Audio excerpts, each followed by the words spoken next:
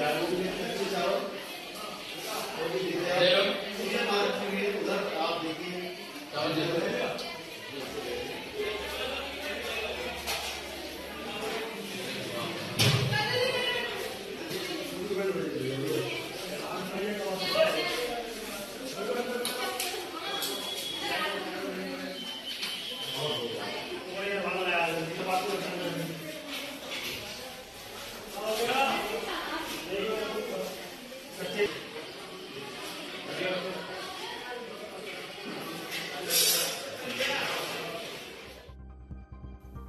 UP के सहारनपुर के sports stadium में खिलाड़ियों को परोसे जाने वाले चावलों में भरा बर्तन।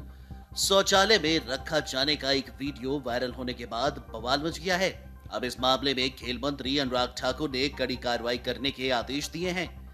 इस मामले में कार्रवाई करते हुए सहारनपुर के खेल अधिकारी को सस्पेंड कर दिया गया है।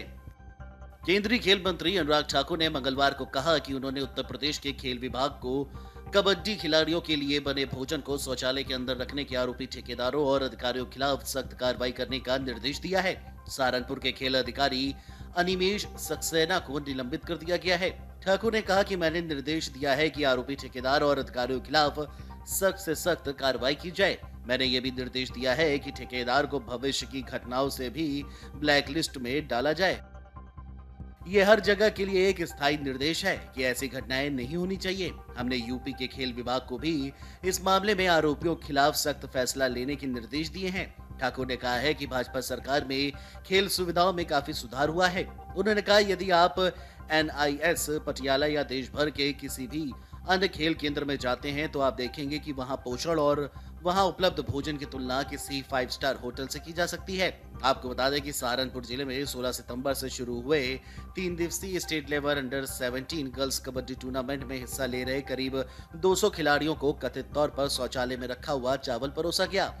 इसका वीडियो सोशल मीडिया पर वायरल हो रहा है, जिसमें खिलाड़ियों को एक शौचालय के अंदर चावल के साथ प्लेट और कंटेनर रखे दिखे थे।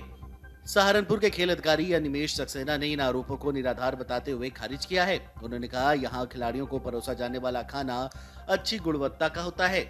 स्विमिंग पूल के पास पारंपरिक तरीके से ईट का चूल्हा बनाया जाता है और उन पर बड़े बर्तनों में चावल, दाल और सब्ज़ी आदि खाना पकाया जाता है।